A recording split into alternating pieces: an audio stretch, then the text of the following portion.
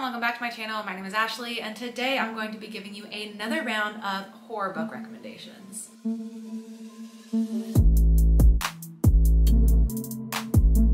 I've done several videos in the past giving horror book recommendations. It's been a while since my latest one, so I wanted to just give a general update on the horror books that I've read since then and the ones that I would recommend all here together. If you want to check out all the horror books I've recommended before, I will have the links down below to the previous videos in this series, as well as some other related videos, like when I recommend short horror books, horror novellas, horror books that I think should be movies, and all of the other ways I've recommended horror books over the years. But today we're just going to be talking about the latest horror books I've read in the last year or so and which ones I think are definitely worth picking up. First up, we have The Fisherman by John Langan. This is a story where you're following these two men who have both lost their wives. While they are both grieving their wives, they have found solace in each other's company and also spending time fishing together. And then one day, after hearing rumors about this particular place to go fishing that could remedy their grief, they go out to this place called Dutchman's Creek where there is history of dark pacts, long buried secrets, and a mysterious figure known as Der Fisher, the fisherman. Going there makes them face all they have lost and what they will do to regain it. If you know me, you know I really love a powerful grief horror story, and this is definitely one of the top ones I've read. This book takes you on such a journey. It took me on an unexpected journey, and there was a lot that I wasn't expecting with how much you get of the history of the story, which was admittedly my least favorite part of the story when you get pulled out of present day to learn all the history of what's gone on. But this is a book that I thought about long after I've read it. It has such an interesting story to tell, and I highly recommend it, especially if you're a fan of grief horror.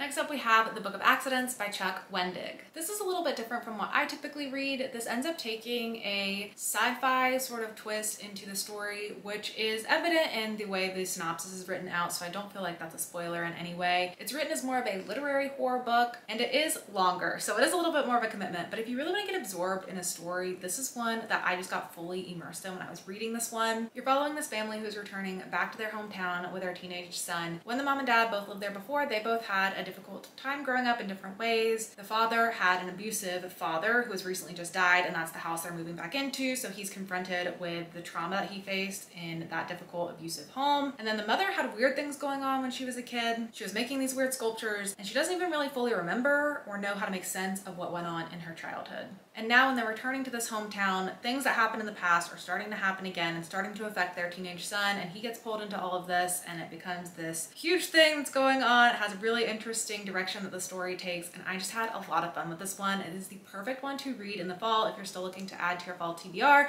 Definitely recommend picking this one up. Next we have The Last House on Needless Street by Catriona Ward. I will also have another book of hers that I recommend later in the video. She writes these books that are sort of a blend between thriller and horror. I don't feel like it fully sits on either side of the spectrum of being a full thriller or a full horror. I feel like it's a nice blend of both. This story is best to go in knowing as little about it as possible because the way the story just comes together as you're reading it is such a fun journey. I truly had no idea what I was reading when I started reading the first couple chapters of this book, trying to understand why are we getting the perspective of a cat? Who is this man that I'm following? Who is this young girl that I'm following? How are they all pieced together? And that is exactly what makes this book so much fun to read. Essentially, you're following the story of this man who lives in this house on Needless Street with a young girl and a cat who can talk, who is also obsessed with the Bible and religion. And that is all you need to know. Just go into the story expecting a really interesting journey with it and you'll probably have a lot of fun. The other book that I have to recommend by Catriona Ward is Sundial. This one came out more recently and this is a story about this woman who is taking her daughter back to her hometown area, which is called Sundial, out in the desert to get away from her other daughter because she's worried that the daughter that she's taking away is going to harm the other daughter. So she's taking her, they're gonna have a little come to Jesus moment and she's gonna figure out what's going on with their daughter. But once they get to Sundial, the tension in the air is high and it seems like there's some planning going on and someone might not make it out of Sundial alive. I feel like if you liked one of those books, you're probably gonna like the other because her style is just pretty distinct. They are completely different stories, but I really enjoyed both of them. I actually enjoyed Sundial even more than The Last House on Needless Street, but I do recommend both. Next up, we have This Thing Between Us by Gus Moreno. This is another grief horror that leans into cosmic horror as well, which is going to be a theme that you see through here. I really do like grief horror. And cosmic horror, I don't fully know if I love it yet, but I do appreciate it for sure. In the story, you're following this man whose wife has recently passed, and the the way she passed was this spectacle. So he decides he wants to get away and just go off into the woods somewhere where people will just leave him alone and he doesn't have to hear all of these empty lamentations for his wife's loss and hear about it talked on the media. He just wants to go be on his own, but he learns that he can't run away from it all. Another important part of the story is that before his wife died, they ended up buying this device that is sort of like an Alexa device where you can talk to it, talks back, you can ask it to order things for you. In this world, it's called Itza. That's what the device is called. It was sending them weird things. Weird things were going on with the Itza, and that also becomes an important part of the story. I love the first half of the story. The second half did get a little bit confusing for me, but I just thought it was such a fun ride. It's definitely one of those books I would want to reread again just to piece it all back together. I really, really love the writing in this one. The tone was just so well done to really portray grief in a horror novel. And I think this was Gus Moreno's debut novel. Not totally sure, but I think it was. And I definitely want to read more from him in the future. Next up, we have Crossroads by Laurel Hightower. This is another grief story. This is a novella that I absolutely fell in love with. It is one of my favorite horror novellas, if not my most favorite horror novella I have ever read. In the story, you're following a woman whose son has passed and she frequently goes and visits the site of his death. He died in a car accident. And then one day she sheds blood on his death site and after that she starts to believe that she sees him, like sees his ghost coming back. She wonders if she does it again and she'll be able to see him again and then she just gets caught up in this horrifying tale of grief. This one's very intense, lots of body horror in here, very heavy, very sad, but very effective horror. I absolutely love this and I highly, highly, highly recommend it. I also would recommend Below by Laurel Hightower, which is a novella that I read more recently. This one's very different. This is more of a survival cosmic horror novella where you're following this woman who is driving in the night in West Virginia in a snowstorm. She ends up encountering another man when she gets kind of caught up in the snowstorm and they're driving together for a while and then something terrible happens and then she gets put in this position where she has to decide if she's willing to help a stranger or if she wants to protect herself more. And oh yeah,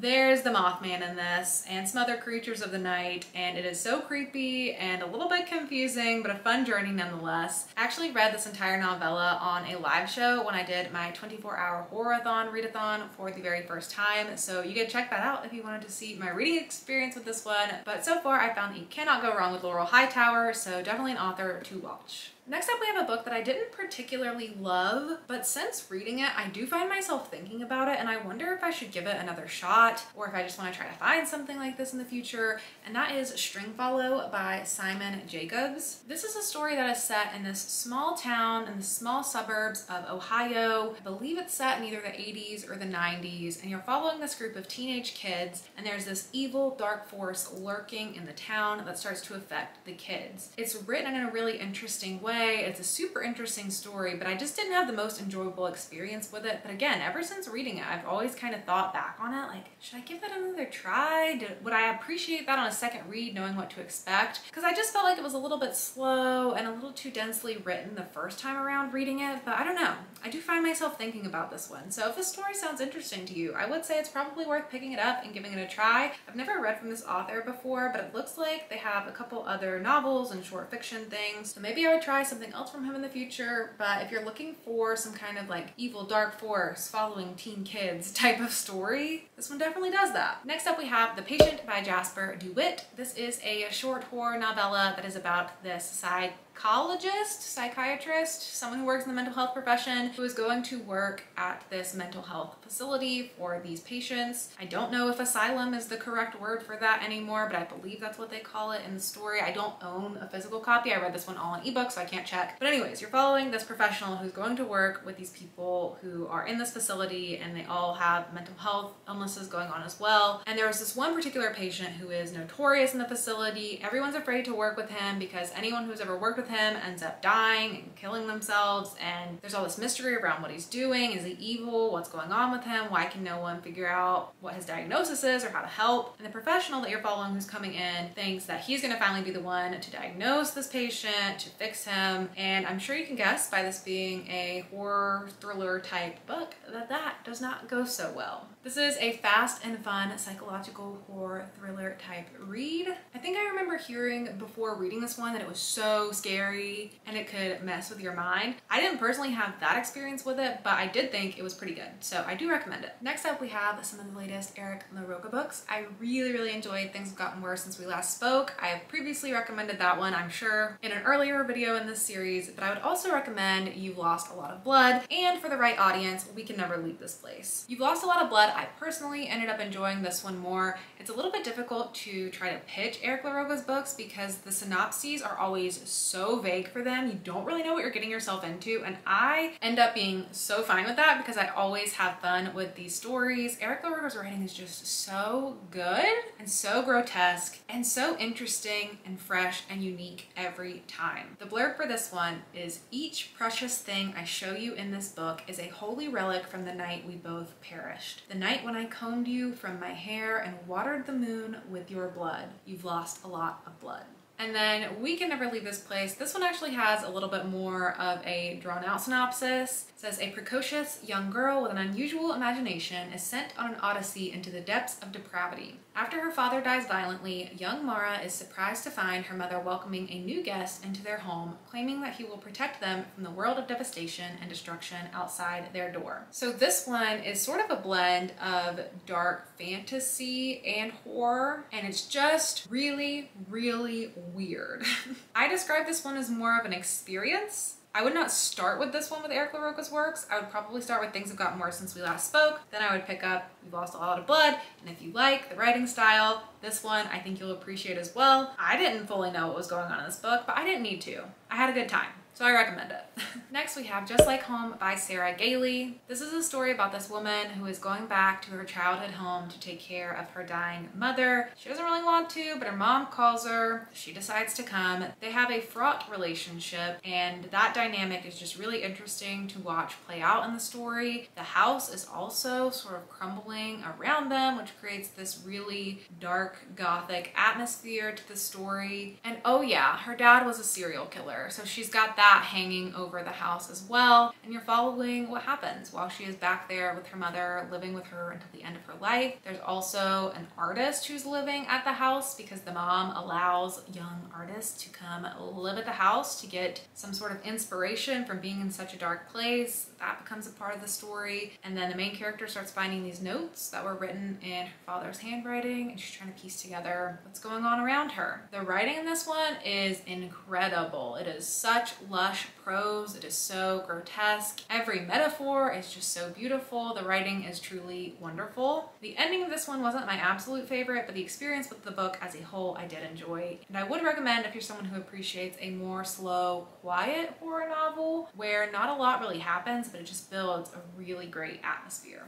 Next up, I wanted to talk about one of the books that I read when I did a video reading and disturbing horror books that I saw recommended on TikTok. The book I want to talk about is Exquisite Corpse by Poppy Z. Brite. This book is disturbing with a capital D and capital letters all throughout. It is a disturbing horror book. I do not recommend this lightly and I really don't recommend it at all ever really but I will say the writing in it was so good I really enjoyed this one and I ended up giving it a four star rating but it is the definition of depravity. And so I just like to be so careful when I talk about this book. I don't want just the average reader to pick it up thinking it's an intro to horror or a typical horror typical thriller. This is disturbing very disturbing. So please proceed with caution on this one. But I did think it was worth mentioning because I did really enjoy the writing and I do want to read more from this author because the writing was just so engrossing. I was just so pulled into the story. The characters were developed so well. I feel like it's kind of hard to describe what this one's about because it sets itself up and that's sort of all the story is, but you're pretty much following the story of these two guys who are both evil, evil people who end up meeting and committing evil deeds together. But it's a really slow story and it takes a while to build to that, so don't expect that to happen in the first 10 pages and then the story goes on from there. Like it, it builds to all of that and that is what the story is. But again,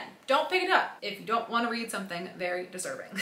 Next up, we have Mary, An Awakening of Terror by Nat Cassidy. This is a story that was inspired by Carrie, and the way the author pitches it, I believe, is if Carrie grew up without powers, this is what would happen to her. You're following this woman named Mary, who is approaching 50 years old, and she starts having all these symptoms that seem like they could be related to menopause, and she's seeing doctors and trying to figure out what's going on with her, but she's having things go on that seem like a step beyond menopause. Like when she sees other women, she sees sees them like crumbling before her. When she sees her face in a mirror, she sees her crumbling before her. And there's just a lot of weird things going on in Mary's life that seem like it might be a little bit more than menopause. And then her aunt ends up calling her and says, I'm dying, please come take care of me. Similar to Just Like Home by Sarah Gailey, how that ends up happening as well. And Mary ends up going to take care of her dying aunt back in this town. And she starts to piece together her history, things that she's remembering about the town, about herself. And it's just an adventure from there. this is a pretty long book. It ended up being a little bit over 400 pages. I do think it was a little bit too long. It does feel a little long, at least in my opinion, it felt a little long while reading it, but it is worth reading. The character work is just really, really good in this one. I really enjoyed Nat Cassidy's writing style. I really enjoyed the way he developed Mary as a character, even if you don't like her. I feel like she's just developed really well, developed enough to make you not like her. Aunt Nadine in this one is such a character. There's so many interesting things going on in this one, and it has some ambiguous parts to it as well, and it ended up being a pretty enjoyable time time to read, even if I ended up not fully getting it or fully piecing the ending together. This is certainly an author that I will want to be reading from again. Next up, we have Daphne by Josh Malerman. This is a story about this girl named Kit Lamb who is a senior in high school. She is playing on her basketball team. She has a lot of anxiety. She also has a lot of anxiety that the town's ghost named Daphne is going to come kill her and all her friends. This is only the second thing I've read from Josh Malerman, but I'm starting to sense his writing style a bit from what I've read from him, and I really think this is going to be an author I really enjoy. He has this style of writing this psychological literary horror, building characters so well, creating a slow burn atmosphere that isn't boring to read. At least it's not boring to me, but it feels like it should be boring, but it's not boring. And I really just love what this book did with building the metaphor of this town ghost, Daphne, and the way that she works as a ghost is the more you think about her, the more likely she is to appear and come kill you. And that's built as this metaphor around Kit's anxiety and just anxiety in general. Josh Malerman himself talks in the ending about his own experience with anxiety and also his own experience with basketball and why that ended up being a part of the story. But you can just tell this was a personal story for him. I think it was done super well and I had a really good time with it. Next up we have Anybody Home by Michael J. Seidlinger. I read this one very recently. It just recently came out. And this is a very interesting story that is told from the perspective of a seasoned home invader